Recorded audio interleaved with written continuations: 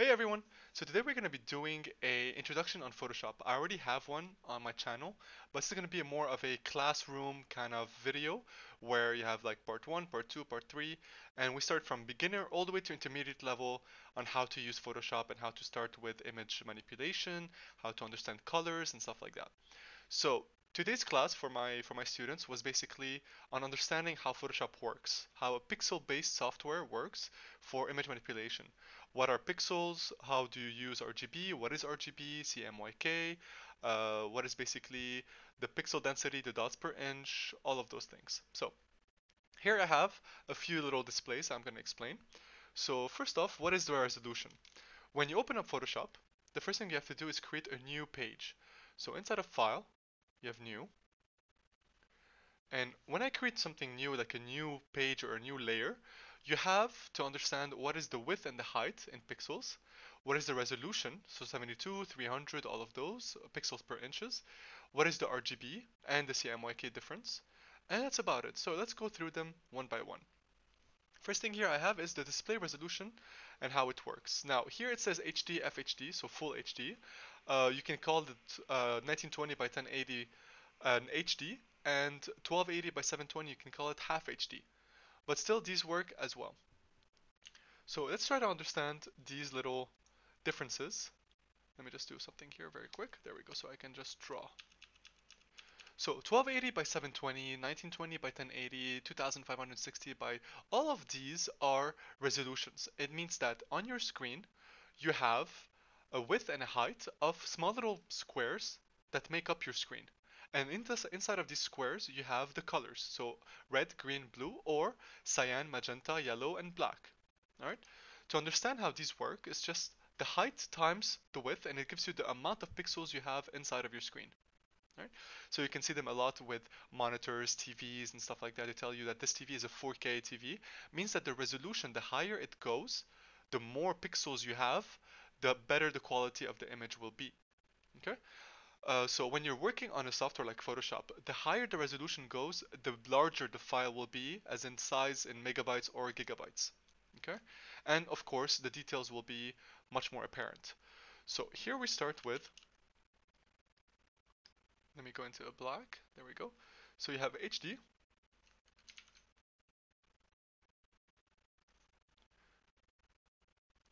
So HD or half HD, it's 1280 by 720. FHD, which is a full HD or HD, 1920 by 1080, typical uh, kind of resolution for a lot of screens, a lot of TVs, a lot of uh, projects that you're going to be doing. It's always inside of 1920 by 1080, so this is usually the one we use constantly. QHD, we don't really use it that much, but typical is 4K, HD, and half HD. 8K is the brand newest Samsung TVs, for an example, with OLED displays and stuff like that. So this is for the resolution. So it's always the height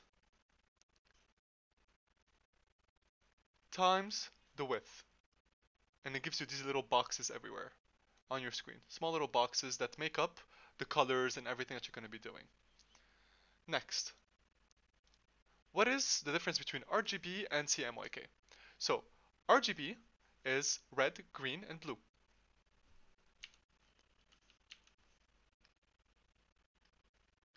Alright, so here we go. So you have your red, you have your green, and you have your blue. If you mix red and blue, you get magenta. If you mix red and green, you get yellow. And my students were wrong about this one. If you mix blue and green, they say brown. It's actually cyan. Right here. Okay? And if you mix, again, magenta, yellow, and cyan, you will get white. Okay? Now, RGB is usually used as screen. So here, right here, you have screen. Screen is basically meant to say that we only use RGB when we want to create something for digital purposes. Websites, um, anything that has to be put on Facebook, Instagram, anything that is digital will be put as RGB. Now, CMYK is cyan, magenta, yellow. And the case of CMYK here is black. Now, why is this used for print? Typically, when you want to take a picture, so let's say you have a project, you have an image, you want to print it out, but it's in RGB. The printer will have to use red, blue, green all together, all the cartridges inside of the printer to create a black. So it uses too much resources and a lot of money to be able to get that black color out, which is not efficient. So when you're going to be printing something, you have to use CMYK colors because inside of the printer, they have a specific cartridge just filled with black and that gives you that black tone. It doesn't have to mix all the colors together to give you that black ink. Alright? So something very important that a lot of students and a lot of people in the creative field do as a mistake. You have to know what you're going to be doing in Photoshop before you start. So my project is I'm going to be creating something for a website or I'm going to be posting something for Facebook. So I want to create that. It has to be RGB from the beginning. If I know that my client or my company or whatever I'm working on the project is going to be printed out at some point, I have to start the project as CMYK. Because if I started as RGB and then in the future it tells me, oh, sorry, we're going to be printing this out, I cannot change the mode to CMYK. I can, in Photoshop, you can change from RGB to CMYK, but the problem is that a lot of the colors will be different. It won't be the same visual colors that you had when you had RGB. So it's very important. And all of these can be found here. So I can go into image right here, mode, and I have RGB and CMYK. Alright, so let's say I kept on working inside of RGB, my picture is fine, everything is done, and then tell me, sorry, you have to print this. I cannot just go from the tick mark on RGB color and change it to CMYK. No, no, no you have to transform everything about your project. So be very careful when you're doing this. Now, 8 bits per channel, 16 bits per channel, what does that say? It's basically the amount of color being put into the actual composition. So 8 bit typically when you're working with RGB for something that is going to be put as a low resolution, 8 bit 16 is fine. If it's going to be printed out at a high channel, 1632 is a bit preferable. But all of them work similarly. It's just a bit of a richer color that is going to be put inside of your composition or print. Alright, so this is for RGB and CMYK. It's very important. So for my classroom, we're always going to be working in RGB. So always your image mode will always be RGB. And make sure that when you go into File, New, you always start with the color mode as RGB. 8-bit, 16-bit doesn't really matter. You can choose either or. Now, let's understand DPI. So even though I have a resolution of 1920 by 7 by uh, 1920 by 1080, I still have to think about what is the DPI, so the dots per inch. So every single inch on my screen, every single inch will have a specific amount of pixels. And one single inch you could have 300 DPI, so the preferable are these two. 72 is used for RGB screen.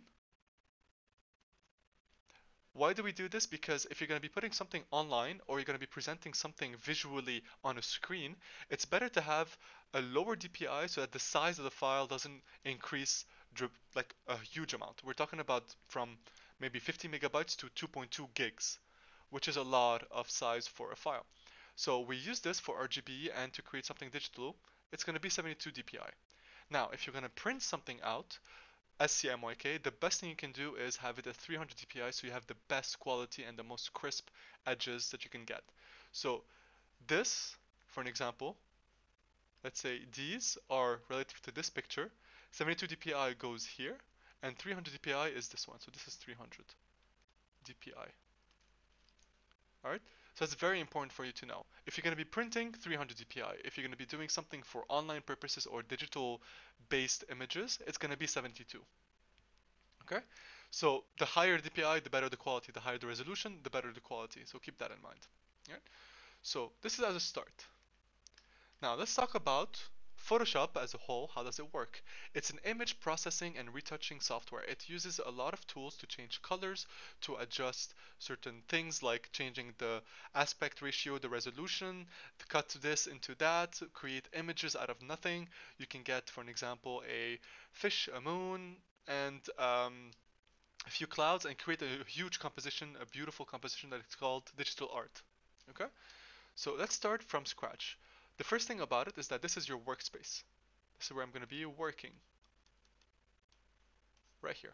Everything goes here, the images, the files, all of that. Now on the top, right here, so I have my file, edit, image, layer, type, select, filter, 3D, view, window, help. All of these are going to be tools that you can use. Right? So your files to create multiple files, to save your file, and all of that. Edit, it edits the actual image you're working on. Image as well creates adjustments. So to change the brightness, the hue, the colors, all of that happens there. Layer controls the layers, which is on the right side right here. So this entire thing right here is called your layers. So how do you understand layers? Layers is basically like a book. When you take a book and you open it, you have the first page. And then under it, you have the second page. But you are not able to see page number two unless you move the page number one. So same thing happens in layers. The top paper will always show first and then the bottom paper and then the one after that. All right. So how do I show this in a better example? Let me just remove this. So I'm going to create a few layers here. I'm going to call the first one 1, 2, 3. The first one is going to be fully black. Next, red and blue. So, on the layers, a few things you have to understand. I have an eye icon right here. This allows me to basically just put down the layer if I want it to be hidden or not hidden. So I can turn it on and off, visible, invisible. All right. So as you can see how they're ordered, the first layer, so the first page in the book, is black. The second page is red. The third page is going to be a blue. And then the final page is going to be a white. So how does this work? I can, if I want to, hide the first one. So I hide the black, the number one. I will get the red. If I hide the red, I will get the blue. Okay? And if I hide the blue, I'll get the white. So very important to understand how layers work. Now, if I want to move layers, I can just click and drag and move it anywhere around the other layers.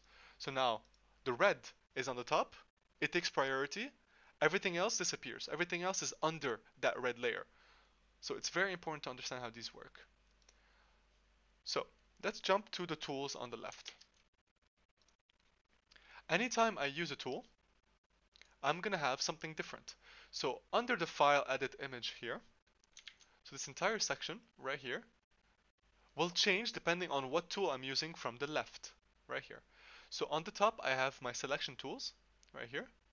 Then I have some brush tools. Then I have some painting tools and some masking tools. All right, and some text tools, basically. So if I click on my move tool, this entire bar will change. If I click on my select as well, new settings will pop out on the top. Very important. So the move tool or V on your keyboard will allow you to move certain things. So I can move this layer for an example. I have V clicked on, it's clicked on here, top left. I can move this layer around.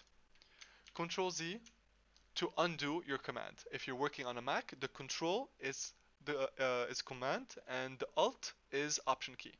Alright, so be careful. So basically here I can just move wherever I want to. Now I'm going to move to the select tool. If you notice, Every single time I have a tool with a small little arrow pointing down, it means there's more tools hidden inside of it, more options of selection, of painting, of colors, of whatever they have in that tool palette. Okay? So here I have a small little arrow indicating I can select as a rectangle. I can also select as a circle. I can select single row, so it's like a single line, or a single column. Alright? So here I'm just going to select as a rectangle. Anytime I choose a tool, I make sure that I'm in the correct layer.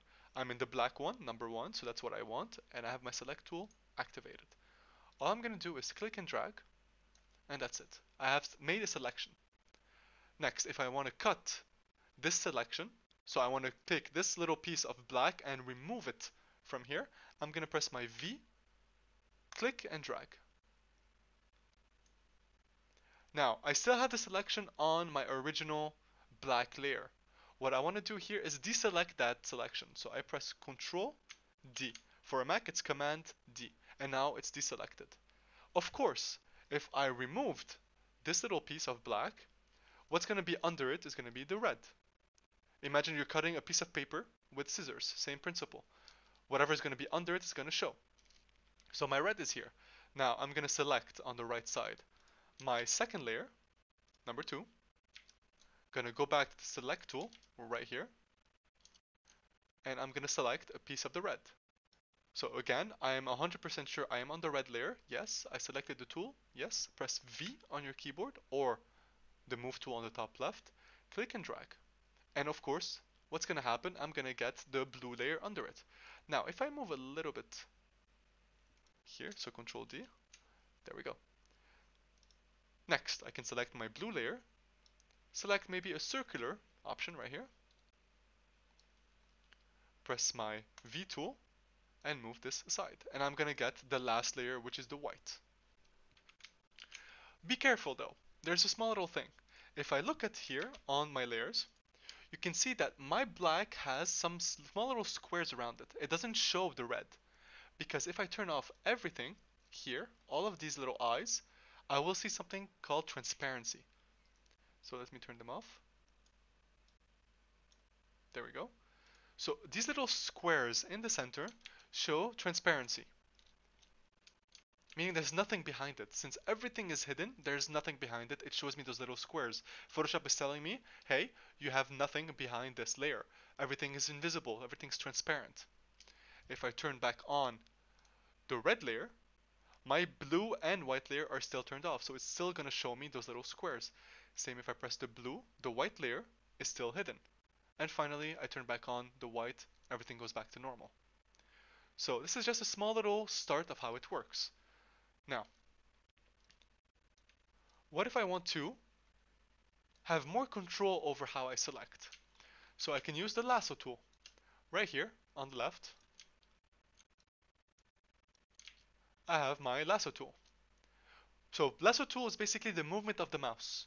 Just follows the movement of the mouse and then you go back from the original point.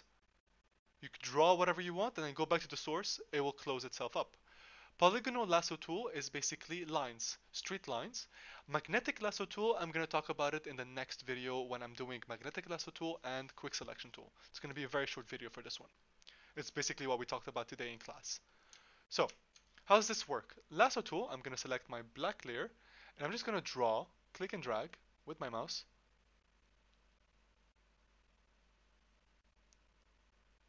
And go back to the source. Press V on my keyboard excuse me, and I can just click and drag this custom shape.